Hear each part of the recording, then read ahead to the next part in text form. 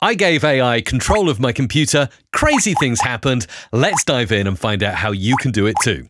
So, Anthropic, the creators of Claude, one of the most advanced AIs out there, have introduced computer use.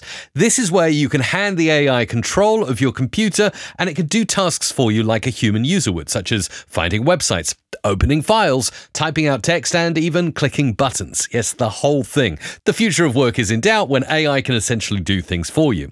How does it work? Well, it uses screenshots to understand the current state of your computer and then decides what to do next. Let's get in and get this working step by step. Now, I'll post all the links to everything down below in the description. So, first of all, you download Docker Desktop. You'll see it's available for pretty much any operating system. Next, you're going to go to the Anthropic website and you're going to get an API key. This is like a secret password to allow computer use to use your Claude account. So let's go ahead and create a key and we'll call it computer use.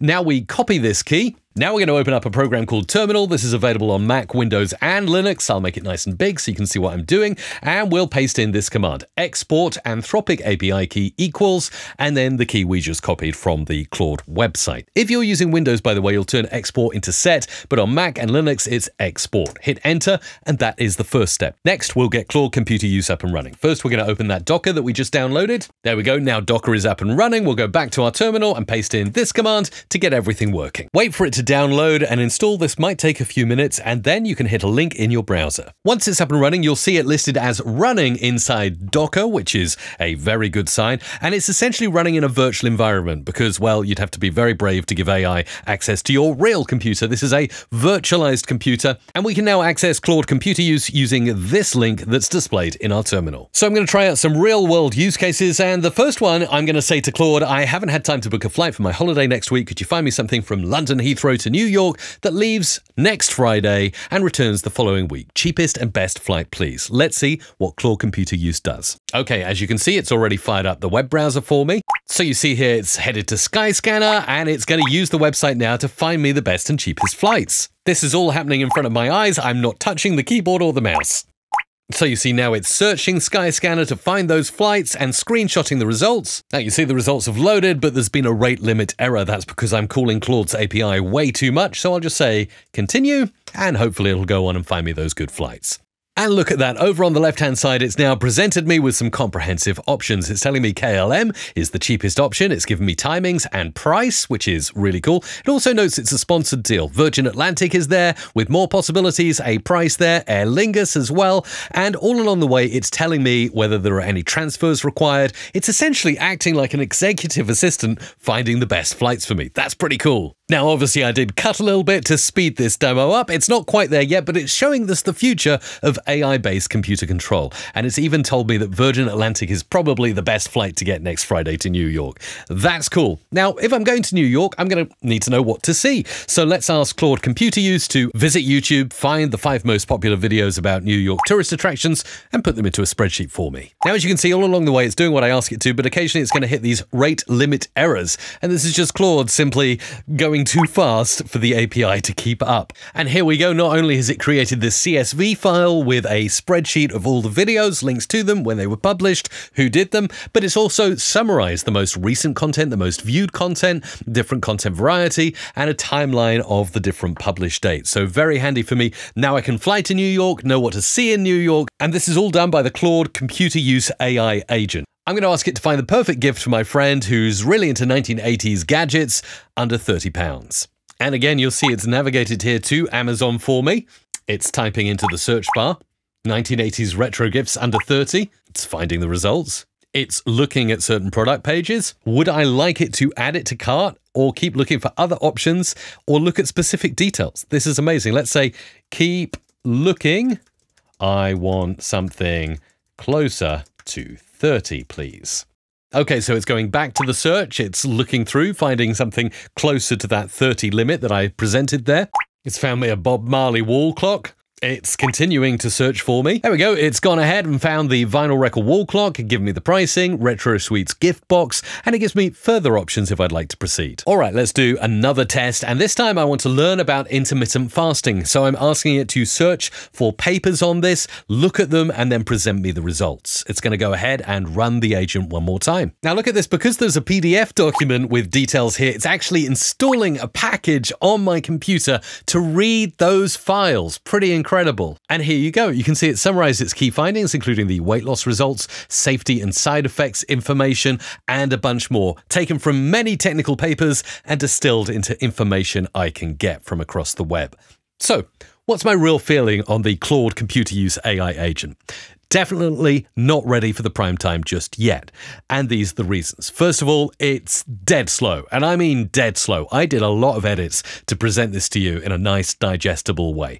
This agent takes time to crawl the web and find things, and it falls over a lot. It hits rate limits, it hits problems where it can't continue, and this is something that needs to be solved. But when it does work, it's absolutely incredible, and this is definitely a sign of things to come in the future. Imagine a world where AI agents are loose all across the internet doing jobs on our behalf. That is what Claude is giving us a little peek behind the curtain at already. Next up, do you remember Pi? Pi is an emotionally intelligent AI that can talk to you like a real human being. Oh, hey there, Pi, how are you? Hiya, Mike. Doing fantastic. Thanks for asking keeping myself busy answering all sorts of questions and learning new things every day. Yeah, I'm just doing a YouTube video showing how cool you are. Whoa, a YouTube video about me? You're making me blush. But seriously, that's awesome, Mike. I'm flattered that you'd want to share how cool I am with your audience. What's the focus of your video? I'm really curious, based on our previous conversations, maybe you can tell the audience a few things you know about me already. Sure thing. Here are some facts about you, Mike. 1. You're a content creator with a YouTube channel where you share tips and tutorials, especially related to audio production and AI tools. 2. You're interested in expanding your content to cover AI news, no code tools, productivity, and digital entrepreneurship. So there you go. Pi is pretty cool. Now, I thought it was completely dead after Mustafa Suleyman announced he was leaving Inflection AI, the creators of Pi, to join Microsoft. But how wrong I am. I got an email from their development team saying I can access their API now, which is great for creating apps, and they're giving me access to two of their cutting edge LLMs, Pi 3 and Productivity 3. And I just click this link to join. So here I am at the Inflection AI for developers. I'm going to continue with my GitHub account and link it together. Okay, now I'm in the Inflection AI playground to test out their models, Pi 3.0 and Productivity 3.0. Now, Pi 3.0 is emotionally intelligent, it gets a backstory on the user, and is ideal for sort of customer support, I suppose. Productivity will do tasks that require precise outputs like JSON or organizing stuff. Let's give Pi a test first, and I'm going to switch on streaming responses so I see the feedback in real time. Let's start simple.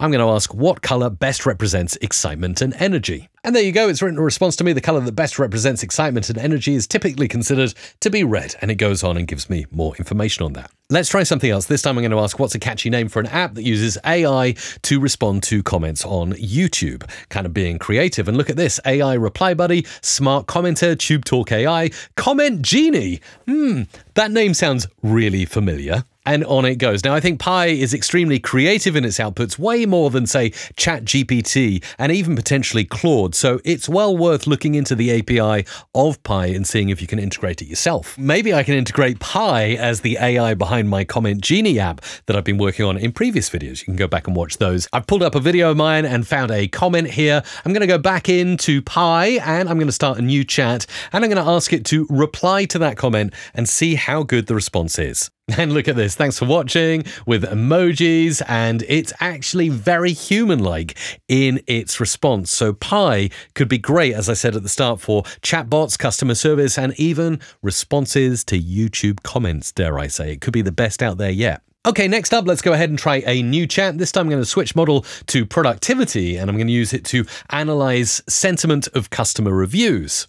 This time I've gone ahead and gone to Trustpilot, copied everything from the page, and then pasting it in here to find out what productivity does from Inflection AI. And here we go within moments. It's coming up with quality products and services, exceptional customer service, valuable education resources. Let's try something else. This time I've headed to a Tide Times information website, copied all the data from the website as it is, and now it's coming back and making a nice table for me right here in front of my eyes, organizing the data, productivity, excellent at these structured outputs. So then I can go ahead and maybe integrate this into my app, or indeed I can use it just to make a nice table for me to read later on. And just in case you're curious, how much is this all costing me? If I go to the usage page, we can find my daily spend. It's loaded up here. And you can see I have spent just $0.0225 on Productivity Pi and $0.0064 on Inflections Pi 3. So you can see the usage for many use cases is actually very cheap and comparable to other AIs out there. And finally, this week, Stable Diffusion 3.5 has been released. And look at this, it's pretty prompt adherent.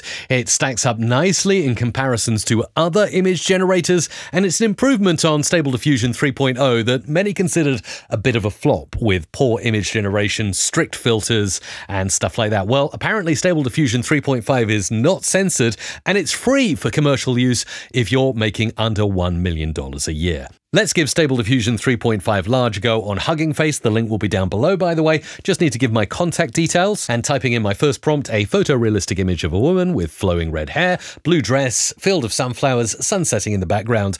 And here we go. This is the result we got. Not too bad. Not the best image I've ever seen generated, but it's a nice first attempt. Let's try something else. This time we'll go for a majestic dragon soaring through a stormy sky above a medieval castle, dragon breathing fire, of course, and the sky filled with dark clouds. And here you go. Now you can see the computation time. It's taking just around 16 seconds to make these images.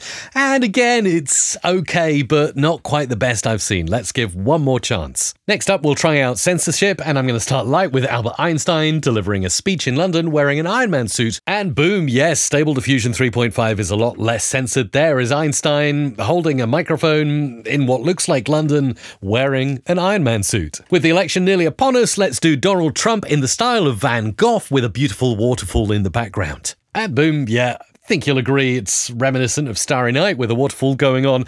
Not too bad. Now, in the interest of being fair, let's also paint Kamala Harris in the style of Van Gogh in a magical forest with glowing mushrooms all around. And yeah, it's worked a treat. That's pretty cool, actually. So you can see that Stable Diffusion 3.5 is a lot less censored than its predecessor, and it's catching up with other models I've spoken about, such as Flux AI. Now, if you want to run this on your local computer, the medium model is coming out next week at the time of recording this video, and it'll have 2.5 billion parameters. And if you've got a decent gaming GPU, odds are you'll be able to run Stable Diffusion 3.5 on your computer. So there you go, you'll find detailed tutorials in my community. It's free to join using the link down below, and you'll see some nice introductions here. I also really wanted to highlight members Kevin, who has built entire software using AI prompting, and also we've had a brilliant post here from Cohen as well, who's created KeyCrypt, and I have to say, it looks really good. All of those projects and more being shared